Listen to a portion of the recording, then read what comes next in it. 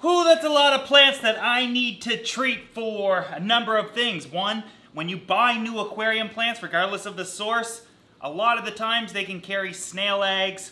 There might be some sort of a parasite or some pathogen, and we need to make sure that these are treated and safe for our aquariums. But why? Well, obviously because of the things I said, but let me give you examples. This tank once had plants in it that wasn't treated properly. My bad, I forgot to. Uh, for snails. And now I have snails everywhere. They're all along the glass here.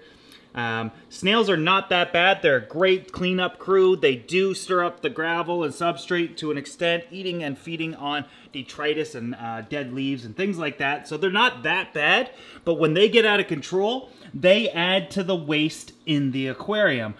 Uh, putting more strain on your biological filter. Then the other thing is algae. What if the plants have a species of algae on it that is difficult to treat? You introduce it to your tank. This tank actually doesn't have anything on it. Um, I'm just adding plants to it here soon and it's going to look tremendously different. But adding plants to an aquarium could potentially introduce an algae that you might not like. Algae does have its benefits as well, though, of course. Uh, it removes nitrate from the aquarium, for example. Just like plants do. Parasites and pathogens? Not necessarily as common, but it can potentially happen. For example, ick, one of the most, if not the most common parasite in the aquarium hobby, when those guys uh, fall off of their host, they could potentially stick to a plant. Usually they're not a stick, but you never know what could be on there. As a precaution, we're gonna treat for that too, but we're going to do it in a very easy, cost-effective way. We're not gonna use medications, we're going to use things that you can easily find at your grocery store or um, medicine store, wherever you're going to go. We need some peroxide and we need some salt.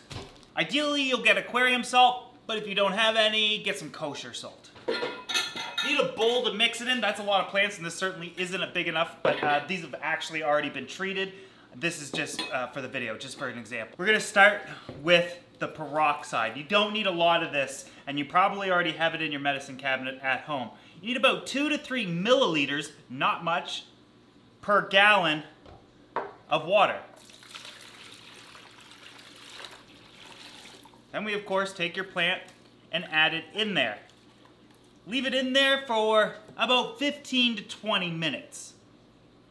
Now this is going to take care of the algae as well as any sort of parasites that might be on there, but it actually doesn't kill snails. For the snails, a cup of salt for every gallon. Start off with some fresh water, of course. Dump in your salt. It's actually one cup of salt per gallon is a lot of salt, so you're definitely going to want to mix that up. And then same idea, take your plant, and it goes in there for 15 to 20 minutes. Now, of course, in between the treatments, you're whether you're doing it with peroxide or the salt, you want to rinse the plant off really, really well after you're done. And you could even, if you ever see any snail eggs, which just looks like clear mucus, you can just rub those off if they didn't fall off on their own.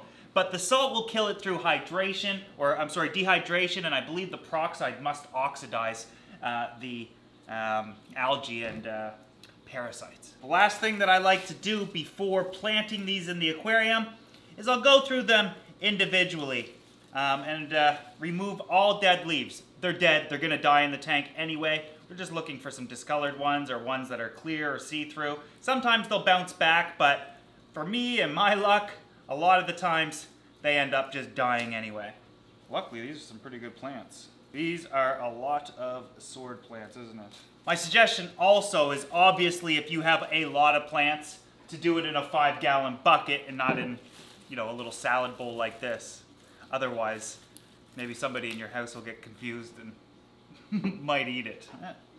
Not all aquarium plants taste good either. By the end of it, you probably will have a bit of a mess like I do here, but you will have some aquarium-safe plants at this point with no real worry about introducing anything that you don't want into your aquarium. Another alternative, of course, is to go with tissue culture. We've done that out here a number of times, and there's no risk of uh, introducing anything you don't want, but they cost two to three times more. So weigh the pros and cons here. This took me very little time. I mean, we're looking like at 30 minutes of time with a proper bucket.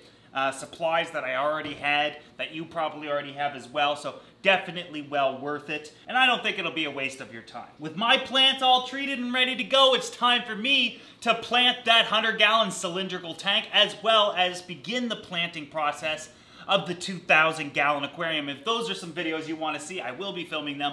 They won't be out right now, but they will be out in the near future, so make sure you subscribe if you're not already. In the meantime, if you haven't got this bad boy yet, it is my book, The Ultimate Do-It-Yourself Handbook for the Do-It-Yourself Aquarist. Link is in the description. You might also want to check out the new merch. Link is also in the description. I'll see you guys in the next video.